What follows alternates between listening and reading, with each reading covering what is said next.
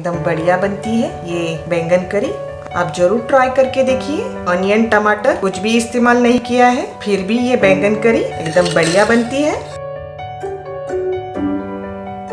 नमस्कार, मैं अश्विनी, मेरे किचन में आपका बहुत बहुत स्वागत करती हूँ। आज हम बनाने वाले हैं बैंगन करी, और इस बैंगन करी में हम प्याज, टमाटर का बिल्कुल इस्तेमाल नहीं करने वाले। और ये करी एकदम बढ़िया बनती है।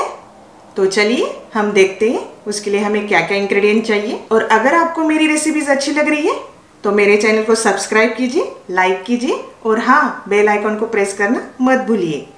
आप अश्विनीस किचन को फेसबुक इंस्टाग्राम और ट्विटर पे भी फॉलो कर सकते हैं। तो बैंगन करी के लिए हमें लगने वाला है, ये यहाँ पे मैंने बैंगन लिए हैं, ये यहाँ पे फ्रेश कोरिएंडर ये यहाँ पे मस्टर्ड सीड्स क्यूमिन सीड्स ये हिंग ये सॉल्ट ये गार्लिक ये यहाँ पे पैन में मैंने पीनट्स रोस्ट करके, फिर मिक्सी में ग्राइंड करके लिए हैं। ये धना जीरा पाउडर ये टर्मरिक पाउडर ये होममेड कांदा लहसुन मसाला लिया है, जो मैं कुकिंग के लिए यूज़ करती हूँ।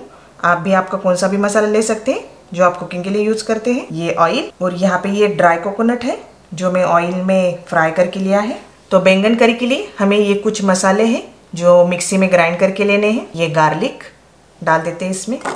फिर ये जो ड्राई कोकोनट है, जो हमने ऑयल में फ्राई करके लिया है, वो डाल के लेते हैं। फिर फाइनली ये कोरिएंडर इसमें डाल के लेते हैं। अब ये सब मसाले हम मिक्सी में ग्राइंड करके लेंगे। ये ऐसा ग्राइंड हो गया है तो बैंगन करी के लिए पहले हम बैंगन का मसाला बना के लेते हैं। ये जो रोस्टेड पीनट हमने मिक्सी में ग्राइंड करके लिए थे, वो डाल देते हैं इसमें। मिक्सी में हमने जो मसाले ग्राइंड करके लिए थे, वो डाल देते हैं इसमें। फिर ये होममेड कांदा लहसुन मसाला, फिर ये धना जीरा पाउडर ये टर्मरिक पाउडर और फाइनली ये सॉल्ट अब ये सब मसाले हम अच्छे से मिक्स करके लेते हैं।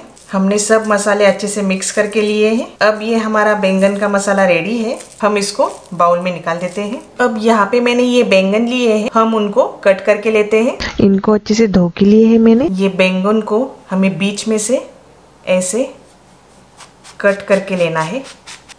फिर वापस एक दूसरा कट हमें बीच में से ऐसे देना है। इस तरीके से हमें बैंगन को कट करके लेना है। ये इसी तरीके से हम ये ये बाकी के बैंगन हम कट करके लेते हैं। हमने ये सब बैंगन अच्छे से कट करके लिए हैं।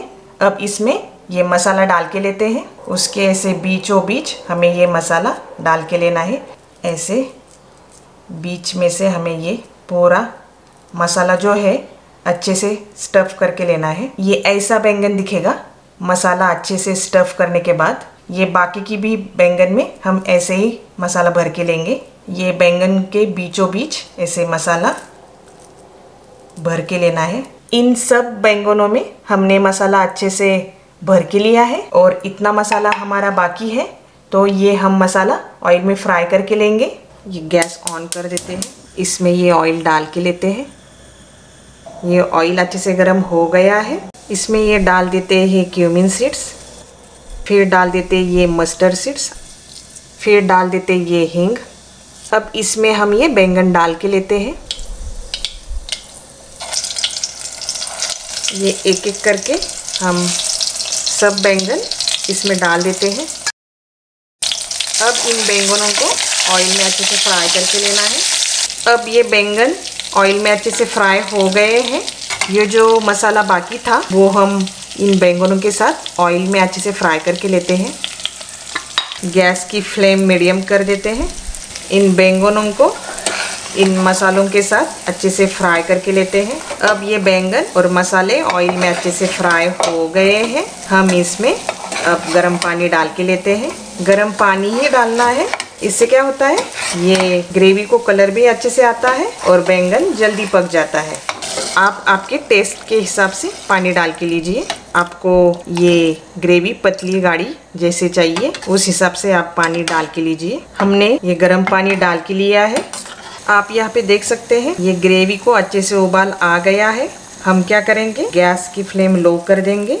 ढक्कन रखकर एक 20 मिनट हम इन बैंगनों को पका कर लेंगे। 20 मिनट हो गए हैं, हम अब देखते हैं बैंगन पके हैं या नहीं। कलर एकदम बढ़िया आ गया है। बैंगन पके हैं या नहीं, ये देखने के लिए ये बैंगन का जो ये डंठल है, वो हमें प्रेस करके देखना है। वो अच्छे से प्रेस हो रहा है। बैंगन का डंठल पक गया है। इसका मतलब है, बैंगन भी अच्छे से पक गया है। गैस बंद कर देते हैं। उसके ऊपर ये कोरिएंडर डाल के लेते हैं। हम इसको बाउल में निकाल देते हैं। ये हमारी बैंगन करी रेडी है। आप ज़रूर ट्राई करके देखिए।